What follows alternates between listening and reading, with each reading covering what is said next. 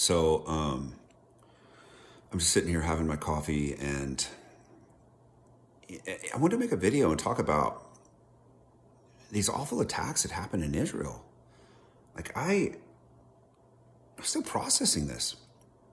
Like it almost didn't seem real whenever I saw the news on like uh, it was Sunday, I believe it was Sunday when I saw it, and you know, and I've been wanting to consume more news lately, right? Uh, because of that. And I have to be very careful. I mean, if you're like me and you've cut back on, um, you know, news, media, and all of that in recent years for yourself or your psyche, um, you know, it could be easy to fall back into that because, you know, what's the reason, right? What's the reason I want to consume all this news, right? It's like, for me, I think obviously there's a dopamine hit that happens, right? Whenever there's information going on, there's this, you know, whoa, you know, because it's like, I can't believe this is happening. I can't believe this news story. And the way that news media sensationalizes it too, right? It only adds to that, you know, with their dramatics and their presentation. Um, but also too, you know, the other aspect is I want to truly understand. I want to, it's like, and I think you all might agree, we want to understand why people would be so brutal, why they would do these things, what has led them to this point in their life. What happened to them that they let, that they wanted to, to attack innocent people? And justify it in the name of God. And the truth of the matter is is I'll never understand because I did not walk in their shoes. And I just I want to understand so bad. Right? And I just don't think that there's any way to explain it I don't think there's any understanding it, right? It is, you know, and, and I know this is used a lot. Uh, you know, it's a generational trauma thing. It seems like it's been passed down from generation to generation. This hate, this this conflict, and um, you know, over land and, and whatnot. And I look, I don't know that whole area. Like, it is. um, It's an area that I, I can't speak on because I, I don't know enough about it. But what I can speak on is that no matter what has happened, no matter what has done, no matter who did who to what, how long ago, right? Whose God is better than whose God, right? Um, the, I don't think any God can justify the brutal slaying of innocent women, children, and even men.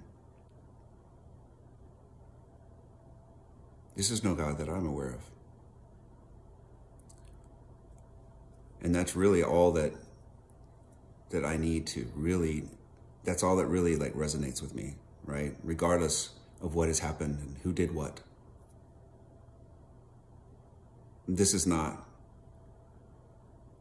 what any spiritual leader talks about, or any God, or any um, religion. This is not love. This is evil. And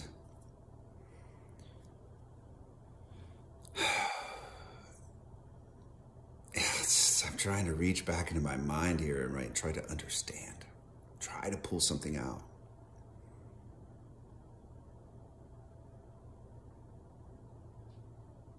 You know, how people can get to this point.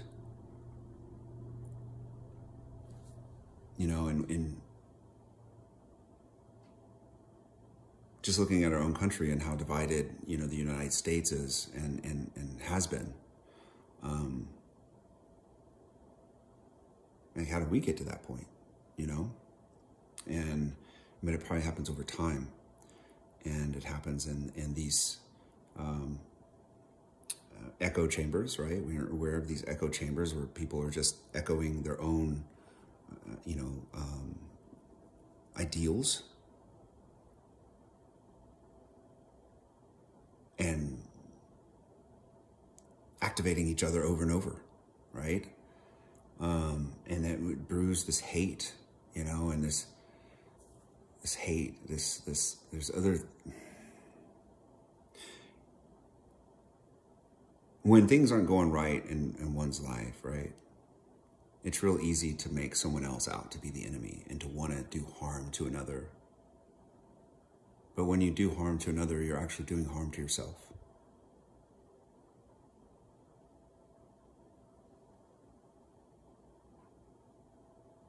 The things that those people have done, it'll haunt them the rest of their life. Whether they realize it or not in this moment.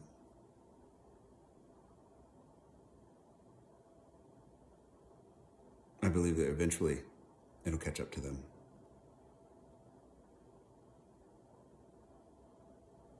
And that's a hard thing to face. It's a hard thing to look at.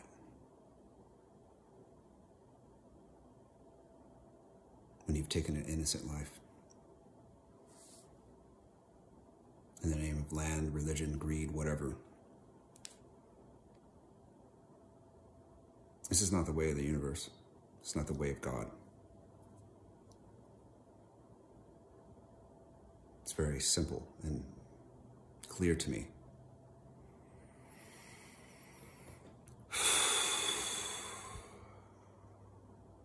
But what I can do is,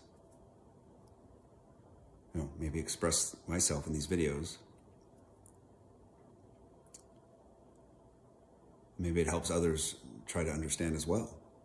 Try to settle this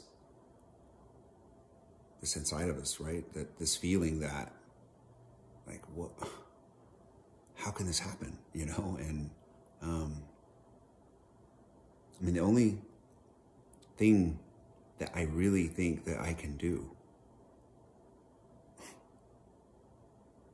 Work on myself. Be an example. An example to myself. Love myself. Continue my growth. Continue my healing journey, right?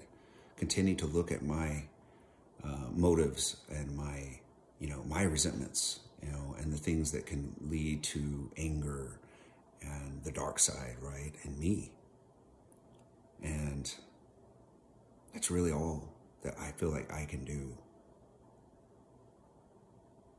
Because we can get in, we get on here and give our opinions and this, and we should do that, and we shouldn't have sent this money, and we shouldn't have done that, and or they need to do this, and it's okay. Well, does that make you feel like you're doing something? You feel better? Okay. But ultimately, does that really help? What, what really helps? If we each work on ourselves. Because when you heal yourself, you can heal others. Others around you heal. And I know that sounds crazy, but it's just the same concept that you've heard. One, one bad apple spoils a whole bunch, right? And that works with healing as well.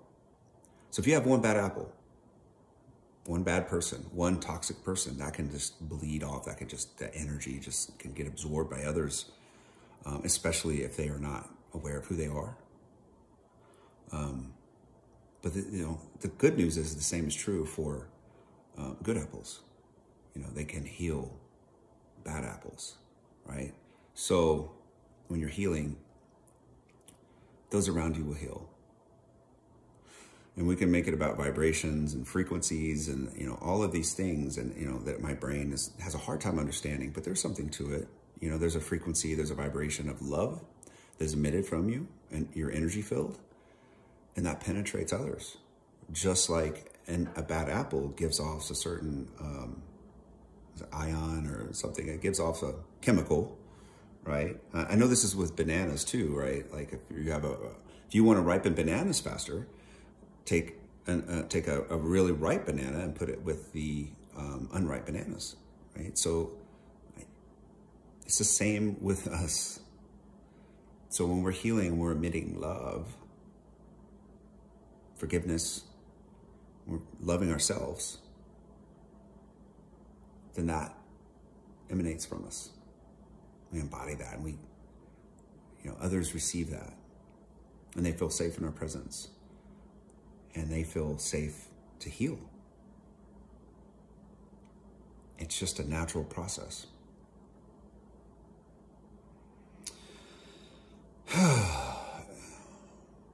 yeah. But that's really all you can do, I think, is to look within your own self. Look in your own darkness. We all have it. I certainly have it. And I accept it. I accept that darkness in me. And it's welcome. But it doesn't run me, it doesn't own me. I can channel it in other ways. I don't have to act out in duality anymore.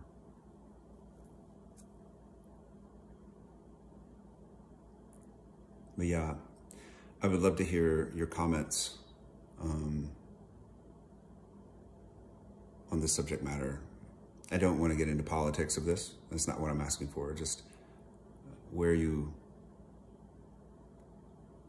how you feel about this. Like, is it, does this resonate with you? That's what I want to know. Thank you for watching.